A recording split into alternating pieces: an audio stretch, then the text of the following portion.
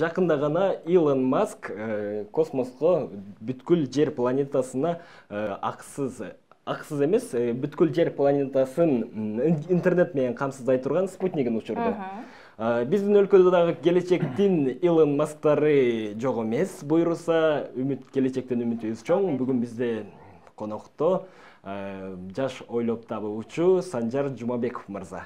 Кош келдиңиз саламатсызбы кутман саламатсыздарбы маанайыңыз кандай жакшы кудайга шүгүр кудайга шүгүр санжар мырза жакындан таанышалы өзүңүз тууралуу кыскача маалымат бере кетсеңиз каякта окуйсуз же болбосо каякта иштейсиз дегендей.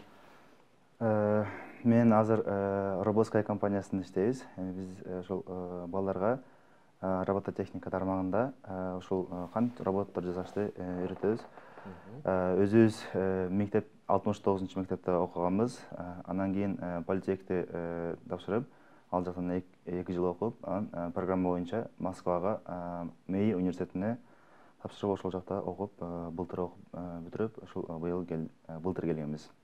Өлкөбүздө канча жылдан бери иш алып барып келесиздер? Кыргызстанда ноябрдан баштап иштеп келатабыз жакшы. Азыркы учурда кандай техникаларды жасап жатасыздар азыркы учурда ушул азыркы акыркы ушул робот менен эле алек болуп жатканын угабыз ошол робот деп калдык. Кыргызстанда эл аралык деңгээлде коңшулар башка өлкөлөр таң кала турган роботтор жасалып атабы?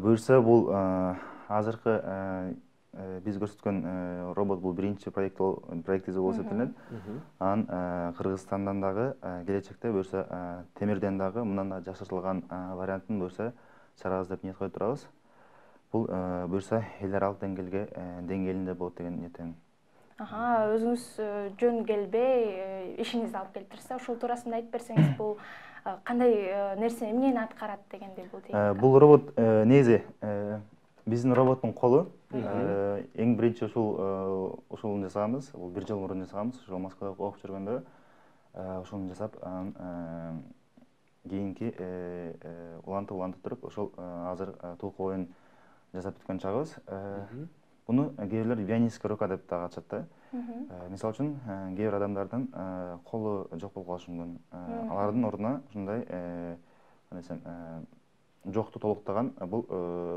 ушундай колдорду ордуна коюп койсо болот да бионическая рука деп коет анан мисалы үчүн бул жакта датчик турат ал мээден келген информацияны алат дагы анан бул жакта контроллер бар. Ал контроллер ошол сигналды обрабатывать кылып туруп кайра бул жакта кандай десем электродвигательге неме сигнал берет дагы ал электродвигатель ушунда кыймылдайт да биз азыр бул кол мындай кыймылдайбы текшерип көрбөйлүбү албетте азыр үч манжасын коштум бир манжасы келе жатып бир неме бузулуп калган окшойт кыргызча робот. Ооба өзүңүз жасагансыз э бул эми өзүбүз кол менен ар бир детальдарын чогултуп жасаган болобуз негизи кызык болуп жатат жабдыктарды кайсы жактан аласыздар. Жабдыктар биз негизи үч тармакта иштейбиз азыркы убакта үч тармакта иштеп жатабыз биринчи тармак бул окутуу балдарга үйрөтүү экинчи тармак бул разработка. Анан үчүнчү тармак три д печать деп коет да өзүбүздүн три д принтерлер бар.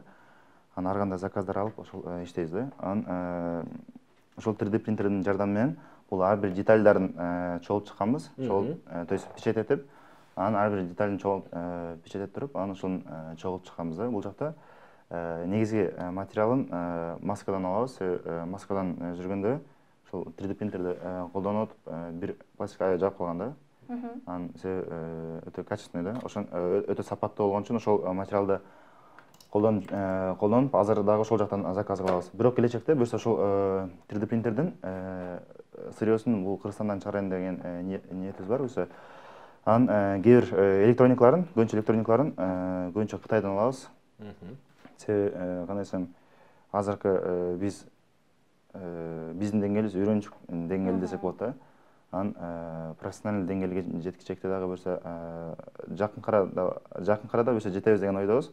Бирок ушул убакта бул биринчилерден биринчи роботтор робот болуп робот жасап жатканыбыз үчүн кандай десем эң арзаныраак варианттарын колдонуу оңой болот да ошон үчүн азыр эң негизги детальдарын ушул кытайдан ошол россиядан жакшы санжар айтсаңыз окуу борборуңуздар тууралуу айтсаңыз ал жакта кимдер окуй алат канча жаштан баштап балдарды окутасыздар биздин компаниянын аты робоскай анан ал жакта негизи кичинекей школьник балдар дагы мектепте окуган балдар анан студент балдар улуу кишилер дагы келип окушат биз азыр бизди көрүп жаткан элибизге айтып койбойсузбу маалымат кылып канча жаштан канчага чейин кабыл алынат негизи эң кичинекей жашыбыз азыр алты жашта балдар окуп жатышат эң кичинекей ооба анан алты жаштан өйдө алты жаштан токсон тогуз жашка чейин жакшы мына ушундай жабдыкты жасаш үчүн канча убакыт кетет негизи бул принтерден печаткенде бир принтер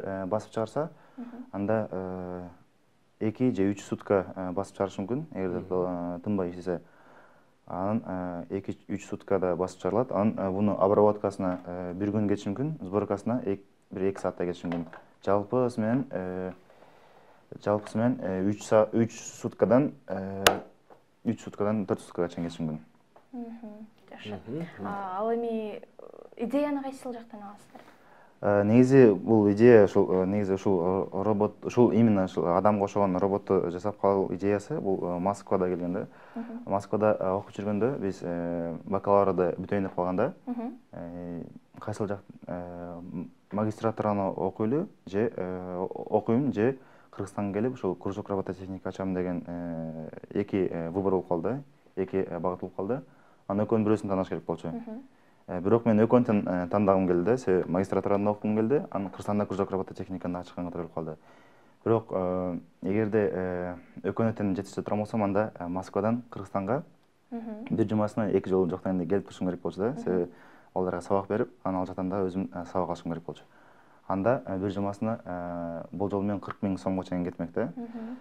Анан экинчи чечим бул роботту жасоо болду да. Ал убакта биз интернеттен алыстан мисалы үчүн мен эгерде москвада турсам мен бишкекте тура турган бишкекте турган бир нерсени мен через интернет аркылуу башкарууну биле алат болчумун да. Үйрөнүп жаткан болчук. Ошон үчүн ошол убакта ой келди. Ошол робот жасап туруп кыргызстанга коюп туруп анан өзүм москвада жүрүп туруп москвада окуй берем.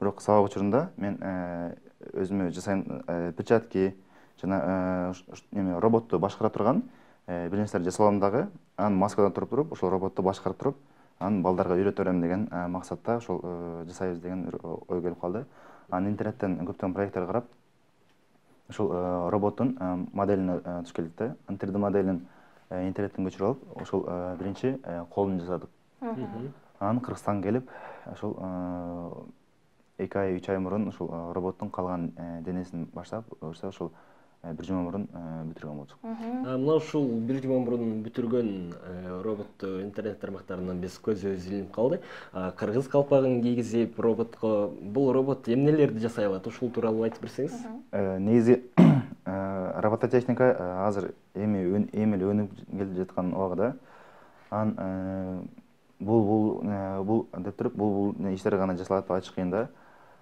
Азыр биз тек гана денесинин жарымын гана жасап бүттүк да бул курсагына чейин буюрса белине чейин дагы кошобуз. Негизги эмне эмнелерди кылат ал программасына жараша да? Кандай программасын жасак ошого жараша иштеп берет да?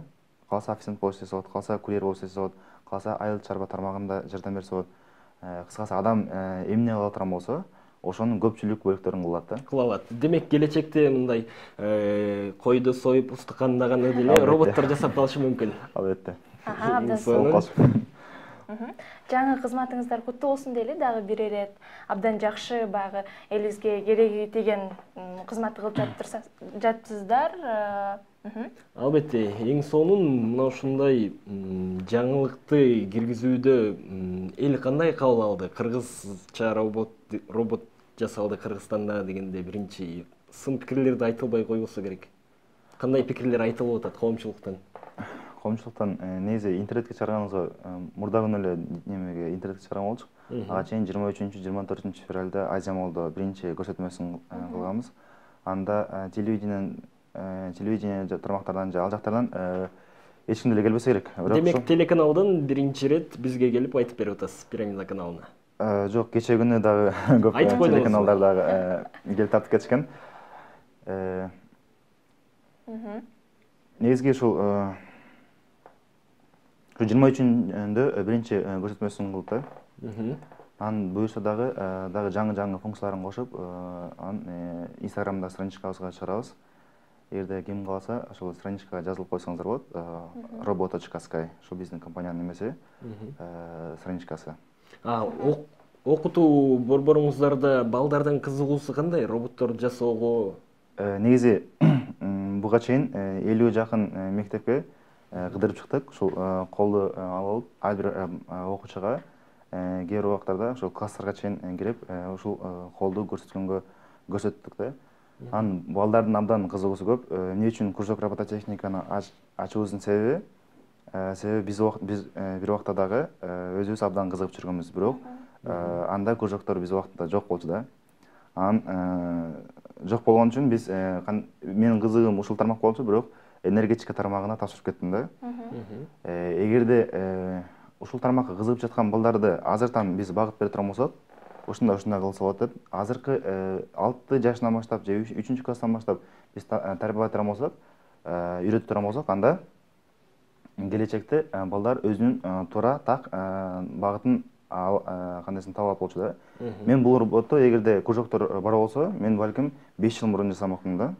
Бирок анда кружоктор жок болгон үчүн мен азыр роботту азыркы убакытта жасап жүргөн жасап жаткан убагыбыз да санжар айтсаңыз роботторду жасап атасыз социалдык тармактарда интернет түйүндөрүндө көрсөтүп атасыз коомчулукка. Анан мына ушул сиздин эмгектериңизди көрүп байкап балким чет өлкөдөн жапониядан же болбосо акшдан санжар кел бизге иште биз сага мына ушундай көп акча төлөп беребиз десе кетет белеңиз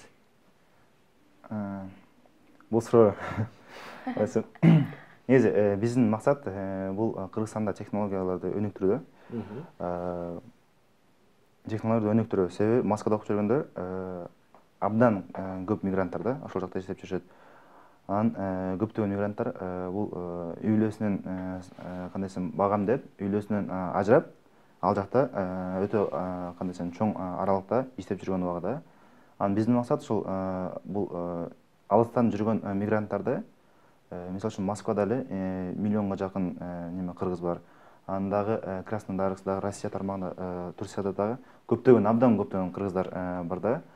Анан негизги максатыбыз бул кыргызстанда көптөгөн заводдорду ачып ачып ачып туруп бул производство тармагын көбүрөөк өндүрүп кандай десем өстүрүп туруп анан кайра ушул мигранттарды кайра кыргызстанга алып келүү да себеби мен көптөгөн бизнесмендер билем да бул чет элдик бизнесмендер. Алар кыргызстанга келип бул жактан акча иштешет да. А биздин кандай десем көп көп элдерибиз тескерисинче көп туугандарыбыз бул чет мамлекетке барып туруп ал жактан кандай десем курулуштарда иштеп анан көптөгөн иштерди иштеп туруп ал жактан акча иштеп келишет да анан ошол убакта кандай десем негизи кыргызстанда дагы иштегенге абдан чоң мүмкүнчүлүктөр бар да. Себеби өнүккөн мамлекеттерде кандай десем ал жакта өнүгүп кеткен да анан бир кичинекей бир нерсе болсо ошол жака илеше калып туруп ошол жактан кандай десем жумуш жумуш иштегиси келет да ал эми кыргызстанда бизде абдан көп да жумуш жумуш десең абдан көп да бирок билбейм эмнегедир эмнеге ал жака башка жактарга качышат бирок буюрса ошол кандай десем туура багыт берип балдарга техника жагын кандай десем үйрөтүп анан буюрса кыргызстандан ошол чоң чоң деген заводдор ачылат деген ниеттемин ошон үчүн кыргызстанга кайра ошол алып келебиз деген ниетибиз бар. Анан ошол неме боюнча америка же башка жактардан балким сунуш түшсө негизи эки жооптун тең бар негизи ооба да жок деп да чыгып тажрыйба топтоп келсе болот демек. Чыгып да кел чыгып жаңы нерселерди үйрөнүп окуп келиш керек. Албетте албетте. Азамат эң сонун азыр айтып койсоңуз түз эфирден пайдаланып баягы мекемеңиздердин адресин дегендей кайсыл жакта жайгашкансыздар мисалы техникага кызыккан балдарга. Кичинекей окуучулар биздин бөөктөрүбүздү окутат элем деген ата энелер болсо ошолорго маалымат катары айтып өтсөңүз. Албетте. Азыр биз ушул бир эле жерде турабыз. Ушул буюрса дагы филиалдарды да бишкек боюнча анан бүткүл кыргызстан боюнча дагы ачайын деп ниет кылып турабыз. Анан азыр биз акынбай көчөсү менен тыныс ана көчөсүнүн кесилишинде жанында халык банк бар. Ошол халкбанктын артындагы зданияда эң сонун абдан жакшы санжар мырза тилекке каршы убактыбыз соңуна чыгып барат сизге жыйынтыктоочу сөздү берели кыргыз элине каалоо тилегиңиз каалоо тилегим негизи аксакал болгондуктан андай неме? Бата бата эмес эми ийгиликтүү күн кутман таң каалап кетиңиз негизи баарыңыздарга ийгиликтерди каалайм негизи алдыңыздар койгон максатыңыздарга дайыма жетишиңиздерди каалайм кандай кыйынчылыктар болуп турса дагы ошол койгон максатка умтулуп умтулуп ошол баарыңыздардын максатыңыздарга жетишиңиздерди каалайм санжар сизге да ийгилик буюрса тилегиңиз орундалсын кыргыздын роботтору чыгып жана жогоруда өзүңүз айтып өткөндөй баардык жумуштарды роботтор жасап калсын рахмат сизге студияга келип бергениңизге болду сиздерге да чоң рахмат бизди чакырган үчүн ардактуу теле көрүүчүлөр бизде мейманда жаш ойлоп табуучу кыргызстандын келечектеги илон маск санжар жумабеков болуп өттү.